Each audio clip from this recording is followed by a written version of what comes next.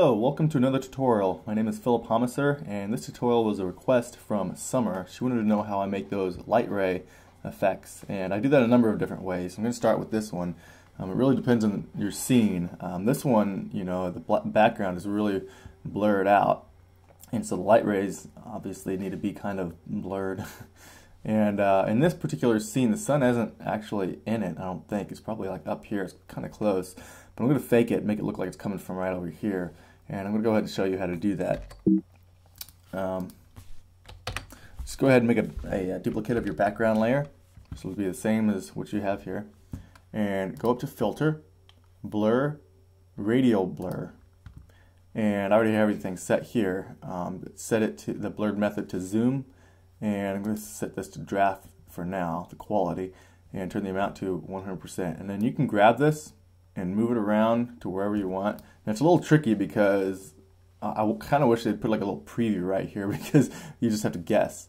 And so I'm going to guess because I want to put it like right about here. And the reason I put this quality and zoom on uh, draft is because it takes a while for it to process. So you want to get it set where you want it. You'll have to probably try that a couple of times.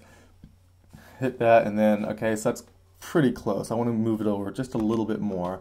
So back that up and uh, undo that and then uh, go back, move it over just a little bit and try it again.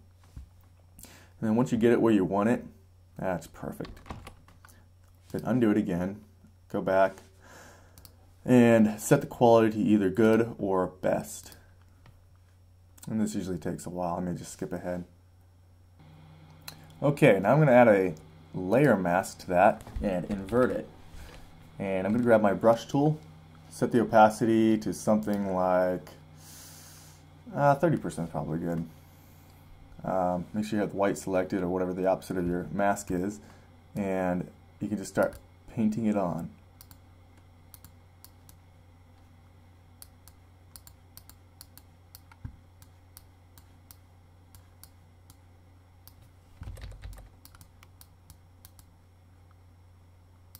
And try not to get it on him. Some people can mask, you, you could mask him out, but um, you know if you're um, careful enough, you can get it get it around him, and you can get you can get pretty close and then paint it back off later. Switch back to black and just paint it off of him if you get on any on him. So anyway, that's uh, that's how you do that. That's pretty basic, and it uh, it's a pretty neat looking effect. Uh, the, the neat thing about this is it uses it actually uses the picture itself to create the light beams. Um, so it actually looks like the sunbeams are coming from there because it uses the trees and everything in the background to create the beams. So that's a very realistic effect. I like that a lot. So let's go over to the next scene and uh, I'm going to show you how I did this one. And there's a couple of ways you can do this one too. Um, the way I did this one was I actually painted them in manually. And what I do is I find a point over here. So you can see the light source is obviously over here somewhere. And um, I'm going to say it's right here. So you just click and just make sure that's your point from, from then on. And uh, I'm just going to try to mimic where these light beams are here. And then go all the way back up here to there. Actually, I'm going to have to redo something. yeah, I have to create a new layer. To do that there. Okay, let's, let's try that again.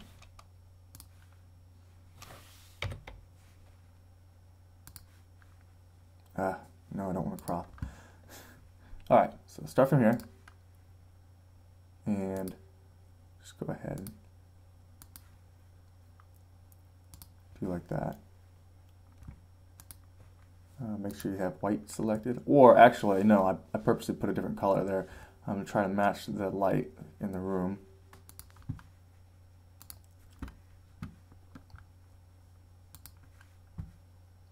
So just come up here, same spot.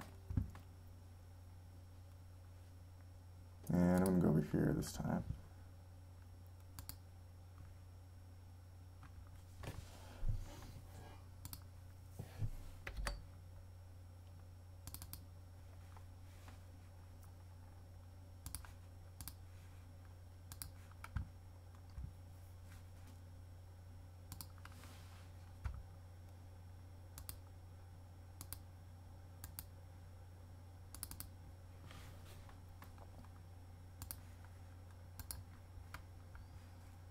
And maybe one more.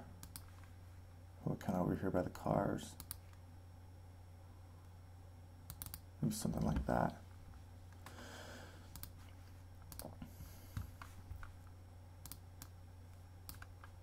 Okay. So now you can take this, um, and there's a couple of things you can do with this. You can put a mask on and set to like 50%. And now you can, if you want to, go in here with the brush tool and just paint out like the black areas. Oh boy.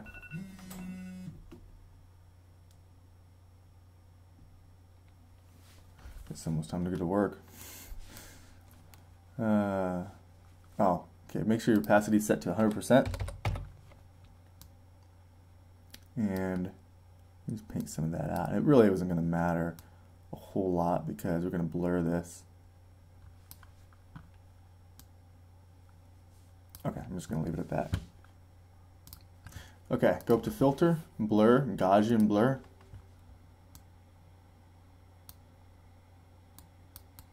And just give it a really nice blur. And there we go. And then you can back the opacity up a little bit. And this is, uh, this works pretty good. This is a pretty nice effect. And another way you can do this, I'm to delete that real quick. Um, this would this one would work a lot better outside if maybe your um, the whole scene is in focus and you wanted your lightnings to be more realistic and a little more pronounced. Um, you can go down here and select uh, gradient, set the style to angle. Um, just click your gradient over here and set the gradient type to noise and set the color uh, to HSB and then bring the saturation all the way down. And then you can randomize it until you kind of get what you're looking for. I kind of like that one there. And then you can grab this and move it into that point that I was talking about over here. Maybe rotate a little bit. There we go. And I'm going to set this to, well actually I'm just going to set the blending mode to screen.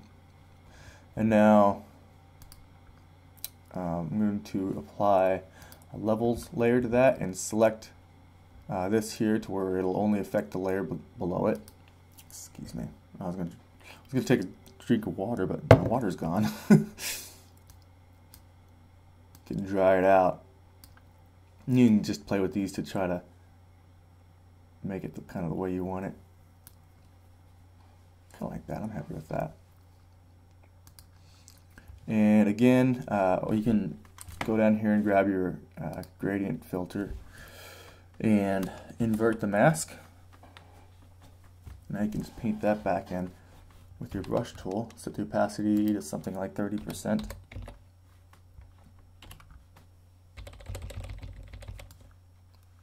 And you just kind of paint it in wherever you want it.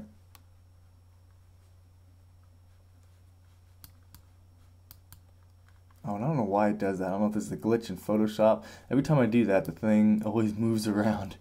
So if it does, you can always grab, you can always open it up like that again and move it where you want it. So that, uh, like I said, this works a lot better outside, but I just wanted to show that to you. I don't have an example that I can give you a picture right now, so I just add it here.